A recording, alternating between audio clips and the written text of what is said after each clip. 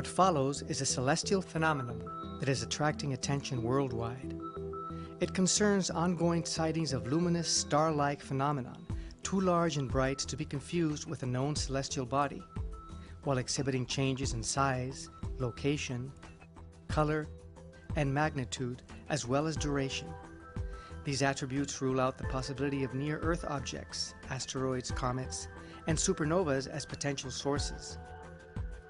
Beginning in January 2009, sightings have been reported from Norway, Costa Rica, the United States, Ukraine, Japan, scores of countries to date.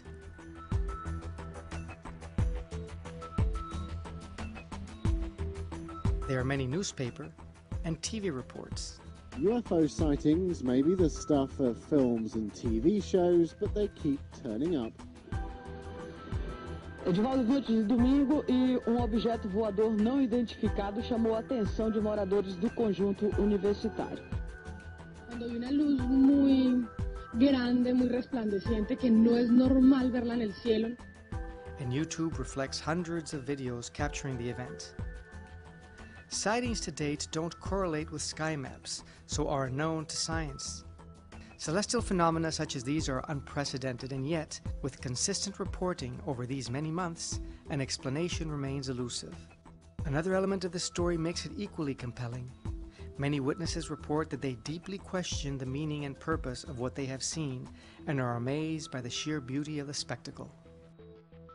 Yet, there is one man who believes he knows the true meaning of this star, and in fact predicted its appearance in December of 2008. Benjamin Creme, British author, editor, and artist. Beyond the science and even the spectacle, his perspective on this phenomenon makes the most compelling aspect of all.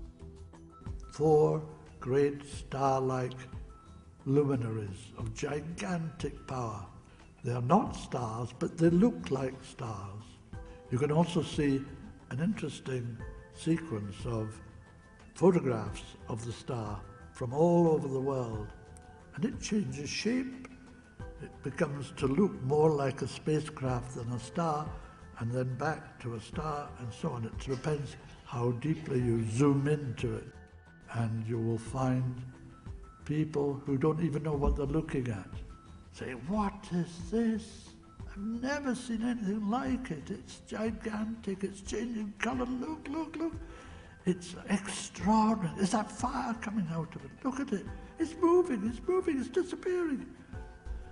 And these stars are the herald of Maitreya. According to British author Benjamin Creme, Maitreya, a teacher of extraordinary stature, is here in the world to inspire us to make the fundamental changes that will usher in an unprecedented golden age of brotherhood and justice. But it comes for all, all religions and no religions. Maitreya is not concerned whether you're Christian or Buddhist or Hindu or whatever. Christians await him as the Christ. Muslims await him as the Imam Mahdi. Hindus await him, await him as Krishna returned once again, or Kalki Avatar. There are two names for him.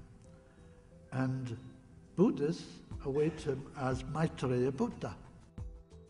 He is emerging now, and to herald his emergence, he has had implanted in our skies four great spacecraft, gigantic spacecraft, and they come from various planets of our solar system, sent from Mars or Venus, or Jupiter, and another planet.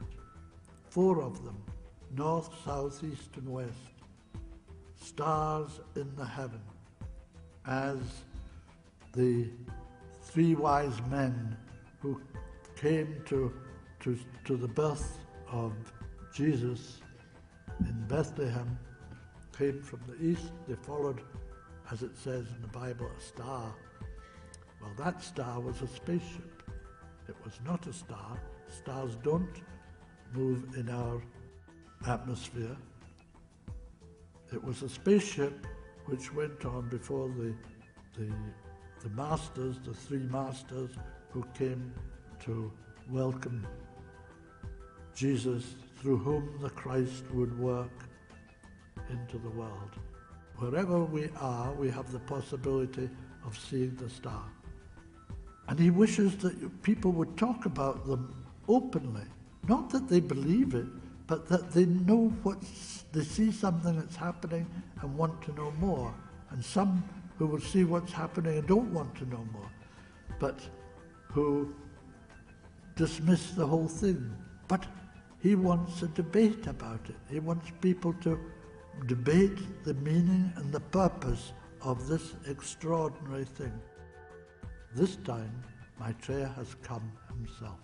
For the first time in human history, the world teacher has come himself, here in dense physical body in the world.